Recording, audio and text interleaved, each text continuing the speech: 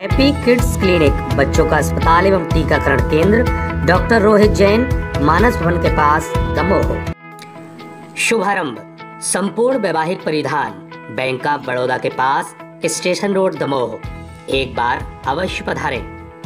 दमोह ज़िले के साथ प्रदेश के अन्य स्थानों पर भी तीन माह से शिक्षकों को वेतन नहीं मिला है। यही कारण है कि अब लॉकडाउन और अनलॉक जैसे हालात में इन शिक्षकों के सामने परेशानियाँ खड़ी हो रही हैं।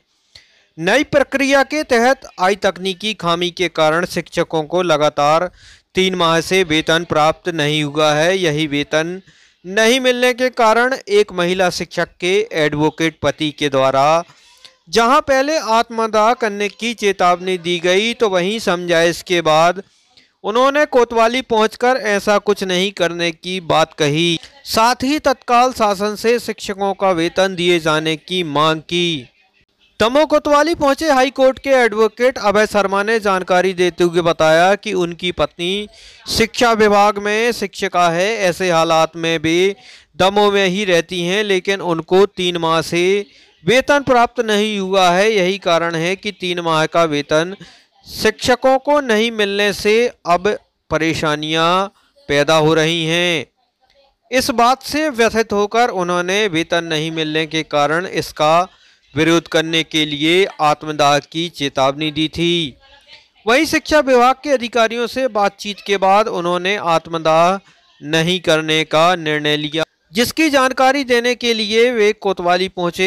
उन्होंने बताया कि शासन को इस मामले पर शीघ्रता के साथ खामियों को दूर करके शिक्षकों का वेतन रिलीज़ करना चाहिए, जिससे उनको परेशानी ना हो। उनका यह भी कहना था कि शिक्षा विभाग के लोगों से सरकार सभी तरह के कार्य लेती है, लेकिन उनको समय से वेतन नहीं दिया जाता। मैं जबलपुर हाईकोर्ट में वकालत करता हूँ। यहाँ मेरी ससुराल है दमोह में। मेरी पत्नी जो है शिक्षा विभाग में वरिष्ठ अध्यापक के पद पर कार्यरत है, मारूताल स्कूल में। पिछले तीन माह से शिक्षकों को वेतन नहीं मिला। उसी के संबंध में बड़े व्यथित होकर मैंने एक पत्र डी साहब को अपने व्हाट्सएप के माध्यम से लिखा था। उसमें मैंने उनको आत्मदाह की।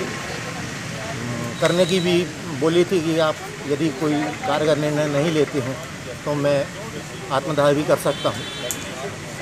क्योंकि भाई साहब, आज आज से क्या, मैं तो जब से शिक्षा विभाग में, मैं भी पढ़ा हुआ हूँ, वहीं से पढ़ के शिक्षा प्राप्त की तो शिक्षक एक ऐसा है कि जिसको झाड़ू और पोछे केवल सड़क में झाड़ू लगाना भर शेष रह गया, बाकी उससे हम हर कार्य कराया जाता है। हर कार्य कराया जाता है, लेकिन सबसे ज़्यादा दुखी और प्रताड़ित वही है आज की डेट। भाई, समय पे वेतन नहीं मिलेगा तो समय पे कैसे उनका गुजारा चलेगा? अब हर शिक्षक के खुद के मकान तो है नहीं। भाई, वो शिक्षक भी हैं जिन जो किराए के मकान में रहते हैं। किराए, मकान मालिक भी कितने दिन दे, देखेगा? एक महीने, दो महीने देखेगा। तो मेरा निवेदन यही है, शासन से भी मेरा निवेदन यही है, शिक्षा विभाग से भी मेरा निवेदन यही है कि जिन शिक्षकों को वेतन मान नहीं दिया गया है उनके वेतन जारी कर दिए जाए जिससे वो अपना परिवार अच्छे से चला सके। आवेदन आपने किस विषय का दिया है कोतवाली में? कोतवाली में मैंने मैंने ये पांडे जी को दिया है और वो आत्मदाह के संबंध में था। तो मैंने उनसे कहा भाई उनके संगठन के लोग भी आए थे शिक्षा विभाग के तो ये बातचीत हुई कि कलेक्टर से मिलने जाया जाएगा। तो मैंने मैंने उनको लिख के दे दिया है कि मैंने को आत्मदाह नहीं करना है, मैं कलेक्टर से मिलूँ ये वो लिखित चाह रहे थे तो मैंने दे दिया। शीघ्र अतिशीघ्र मकान बेचना है, आपके सपनों का आशियाना जिसमें है दो शानदार बेडरूम एक खूबसूरत हॉल मॉड्यूलर किचन